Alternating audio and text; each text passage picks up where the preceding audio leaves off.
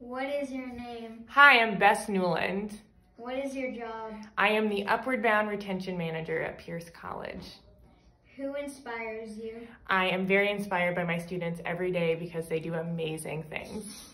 What do you do to get out of a funk? Okay, if I'm in a funk, I change into my running clothes and I go for a trail run and I always feel better. Proudest career moment?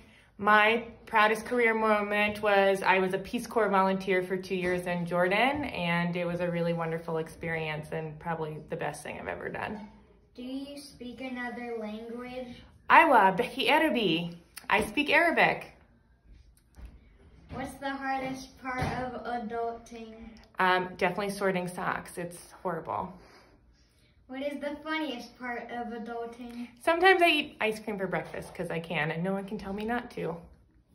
What's one thing on your bucket list right now? Okay, I really want to go to Morocco real bad, so hopefully soon. What is something that people don't know about you that's super cool? Okay, I am 38 years old and I've been to 38 countries, so I want to keep that going and have been to the same number of countries as I am years old. What is something you are learning right now?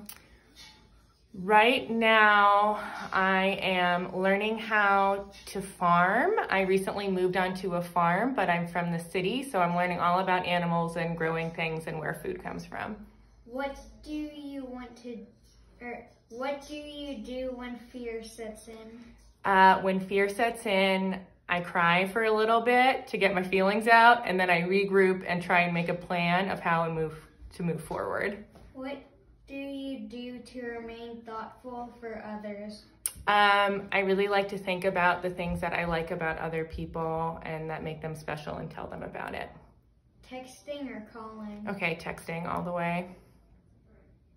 Talk to animals or speak every language? Okay, well, if I had the choice, I would definitely choose to speak every language because I'm a traveler and that's pretty rad. Do you have a nickname? Um, my nickname is Bestifer, uh, or Bescalator, sometimes people call me. What book are you reading? Um, I'm currently reading a book called Circe, which is um, kind of about Greek mythology and is really good. Pineapple on pizza? I think pineapple on pizza is disgusting, um, and I don't know why you would do that and ruin pizza or pineapple that way. Life lessons still used today? So one life lesson that I still use today is that I really trust the decisions that other people make because I think if I lived their lives and knew what they know, I would make the same decisions as them. Um, and that has always been true. So I, I keep that lesson close to my heart. What is your most prized possession? My passport. Who holds you accountable?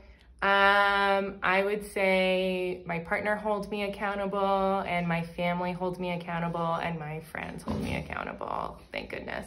Where does your work, work ethic come, in, come from? Um, I think my work ethic comes from my mom because she grew up in a small town and worked really hard and went to law school. Um, and I think she taught me and my sister how to work as hard as she did. What do you want your legacy to be? I think I want my legacy to be that people remember me as someone who supported other people in reaching their goals and living the life they wanted to live for themselves. Thank you so much.